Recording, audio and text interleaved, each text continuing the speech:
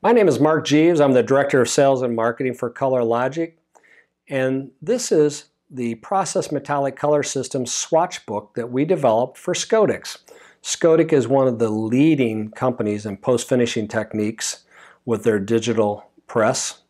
Um, well, what happens is we have a couple of our clients that had purchased the Scodix and our system, and they came to us and said, hey, can you help us out a little bit? Because we would like to really educate our clients on what's possible.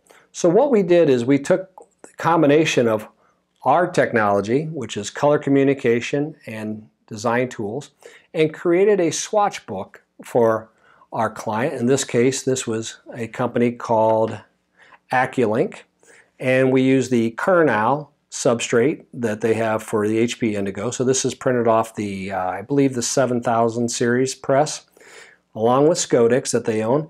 And I want to thank Esko for their demo center in uh, Miamisburg for making these cuts, all the books. I really appreciate that. So that's a description of the process. In here you got an example. And then here's another example of what's possible with the Scodix.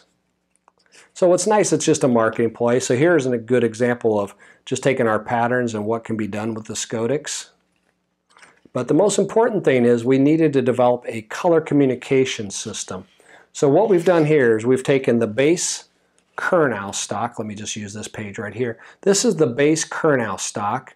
And Scodix, one of the key features it offers, it can control the thickness of their polymer that they put on. So they can control it from 5%, there's 15, and there's 100. So this is basically taking the same substrate and putting a different coating on top, and that changes the color and the appearance. It also adds texture, uh, which is nice.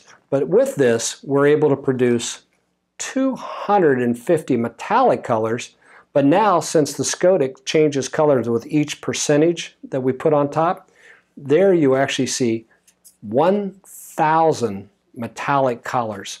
So what we're able to do is take the Kernow stock and turn that into, from a standard silver, into 1,000 possible colors. And the great news for Acculink is since they produced this book, is all these colors are reproducible and that helps them communicate to their client exactly the color they're going to receive. So again, I want to thank everybody who contributed on this. Again, Esko for cutting it, Acculink for printing it, uh, and putting their Scodix on top. And obviously, I'd like to thank Kernow for supplying the stock. Um, side note, this is another piece they produced with that.